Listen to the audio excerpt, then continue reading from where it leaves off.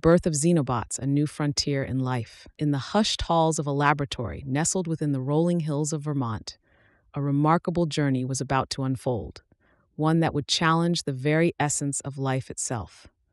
Dr. Emily Chen, a passionate biologist known for her keen curiosity and innovative spirit, had always believed in the extraordinary potential of living cells. But today, she was part of a team set to push the boundaries of biology in ways that few could have imagined. On a crisp January morning in 2020, Emily and her colleagues gathered around a large screen in their lab. The air was thick with anticipation as they prepared to unveil their latest creation a new form of life they had engineered from the cells of the African clawed frog, Xenopus laevis. Emily had spent countless hours working with these cells, but today felt different. As she pressed the button to bring the three dimensional model to life, her heart raced with excitement and trepidation. Meet the Xenobot, she announced, her voice echoing in the room. The small blob like organism moved across the screen, pulsing rhythmically. It was a living entity, yet one that had been designed with specific functions in mind. The researchers marveled at what they had created a self healing, programmable organism capable of swimming, moving, and even interacting with its environment. Each xenobot was a testament to the fusion of biology and technology, a living robot that could perform tasks previously relegated to the realm of science fiction. Emily felt a surge of hope. This could change everything. As weeks turned into months, the team delved deeper into the complexities of xenobot behavior. Using advanced computational models, they learned how to manipulate the cells, allowing the organisms to navigate obstacles, collect tiny particles, and even deliver therapeutic agents. Emily was captivated by the prospect of creating life that could think, move, and act with purpose. With every successful experiment, she felt like an artist sculpting a masterpiece from the very fabric of life. Yet, as they celebrated each milestone, an undercurrent of concern began to weave its way through Emily's thoughts. The ethical implications of their work weighed heavily on her mind. What did it mean to create life? Could they truly control these new organisms? With the power to engineer living beings came an immense responsibility and Emily felt the burden keenly. One evening, lost in thought, Emily sat alone in her office, surrounded by images of xenobots on her computer screen. She envisioned their potential applications, delivering targeted therapies to cancer cells, cleaning up microplastics from oceans, and serving as biosensors to detect health anomalies. The possibilities were exhilarating, Yet she couldn't help but wonder about the unforeseen consequences of introducing these engineered organisms into the world. The first major presentation of their findings was scheduled for an upcoming conference, and Emily felt a mix of excitement and anxiety. Standing before an audience, she would share not only their groundbreaking discoveries, but also the weight of their ethical dilemmas. She prepared diligently, crafting her message to inspire wonder while addressing the complex questions surrounding their work. As the day of the conference arrived, Emily took the stage, her heart pounding in her chest. She presented the team's journey, showcasing the Xenobots and their unique capabilities. The room was filled with scientists, ethicists, and curious minds eager to hear about the intersection of life and technology. When she finished her presentation, applause erupted, but a palpable tension lingered in the air. A young woman in the audience raised her hand, her expression serious. What safeguards are in place to ensure these creatures don't pose a risk to our ecosystems? she asked. Emily took a deep breath, recognizing the gravity of the question. We are committed to rigorous testing and regulation, she replied earnestly. But it's crucial for all of us scientists, policymakers, and the public to engage in open discussions about the implications of this technology. The conversation continued long after the conference ended. As news of the Xenobots spread, public forums sprang up, inviting people from diverse backgrounds to engage in discussions about the ethical dimensions of this new technology. Emily found herself deeply invested in these dialogues, realizing that understanding the societal impact of their creation was as vital as the science itself. Weeks turned into months, and the excitement around Xenobots grew. Their potential for environmental remediation, targeted drug delivery, and even personalized medicine captured the imaginations of people worldwide. Emily felt a profound sense of fulfillment, knowing that their work could lead to a healthier planet and improved human lives. However, with this excitement came scrutiny. Ethical debates erupted across platforms, questioning the definition of life and the responsibilities of creators. Emily grappled with the implications of their work, often reflecting on the age old philosophical questions surrounding existence. Were these organisms merely tools, or did they possess a spark of life that warranted respect? Late one night, as she sat at her desk, Emily pondered the ecological risks. What if xenobots escaped into the wild and interacted with natural ecosystems in unforeseen ways? The potential for ecological disruption loomed large in her mind. This fear pushed her to advocate for stringent regulations and comprehensive testing protocols before any release into the environment. In response to public interest, the team organized outreach programs to educate communities about xenobots. They visited schools, community centers, and scientific gatherings, aiming to demystify their work and foster an informed public dialogue.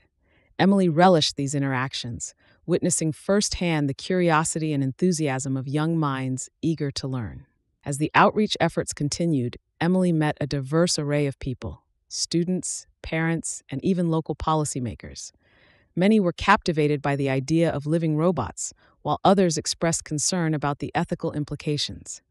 One particularly poignant conversation took place with a group of high school students who asked her about the potential for xenobots to become sentient. Are they alive like us? One student asked, wide eyed. Emily paused, considering her response. They are alive in the sense that they are made of living cells and can perform tasks, but their consciousness, if it exists, is vastly different from human awareness. It's a fascinating question we're still exploring. Emily left that session feeling a renewed sense of purpose. Engaging with the community reinforced her belief that scientists had a responsibility to communicate their work transparently, addressing concerns and inspiring curiosity. She was determined to ensure that the public would be an integral part of the conversation surrounding xenobots. As the months passed, Emily's team published more findings, showcasing the versatility of xenobots in various applications.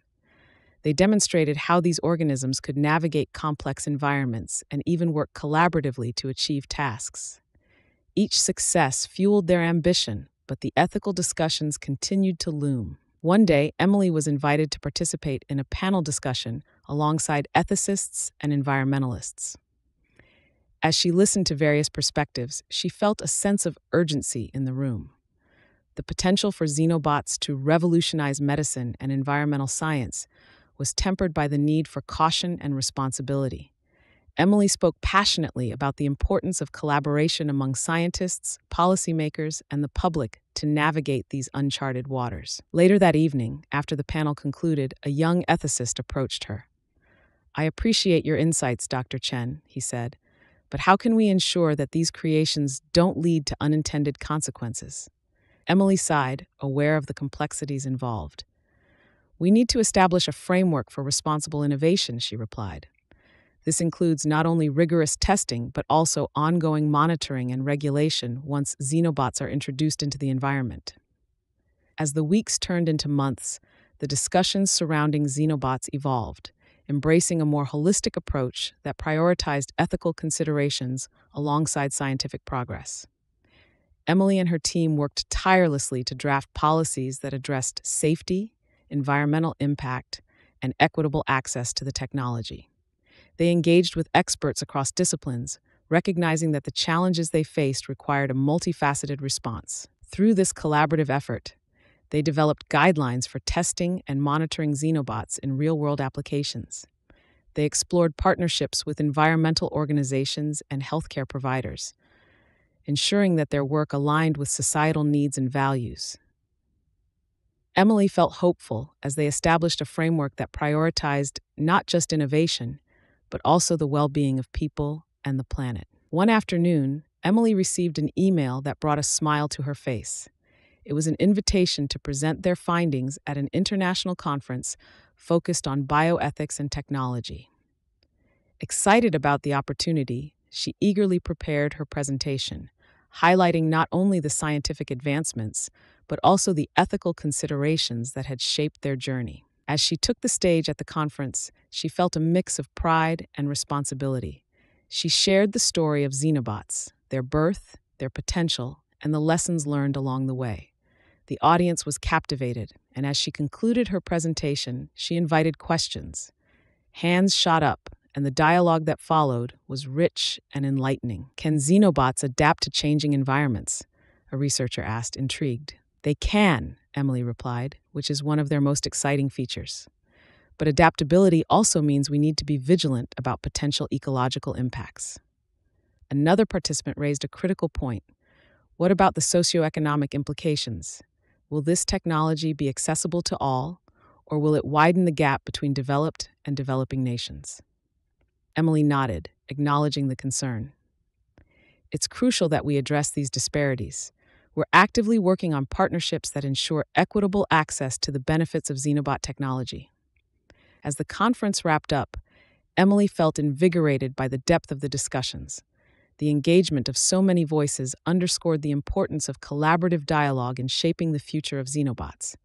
She returned to her lab with a renewed sense of purpose, ready to tackle the challenges that lay ahead. Back at the lab, the team continued their work with zeal. The lab Xenobots had become more than just a scientific endeavor. They were symbols of hope and possibility. Emily and her colleagues often gathered to brainstorm new applications, envisioning a world where xenobots could address pressing issues, from pollution to disease. Yet, as they forged ahead, the ethical landscape remained a constant presence. Emily and her team understood that with every advancement came new questions and responsibilities. They committed themselves to ongoing research and open dialogue, recognizing that the journey of xenobots was not merely a scientific quest, but a profound exploration of what it means to create and nurture life. As she looked out at the stars one night, Emily reflected on the path they had traveled. The birth of xenobots had opened a new frontier, one filled with promise and uncertainty. But with determination, collaboration, and a commitment to ethical principles, she believed they could navigate the complexities ahead. In this brave new world of biological engineering, Emily felt a deep sense of responsibility. They were not just creators of living organisms, they were stewards of a delicate balance between innovation and ethics. And with that thought, she returned to her work, invigorated by the possibilities and determined to ensure that the legacy of Xenobots would be one of hope, progress, and respect for the intricate tapestry of life.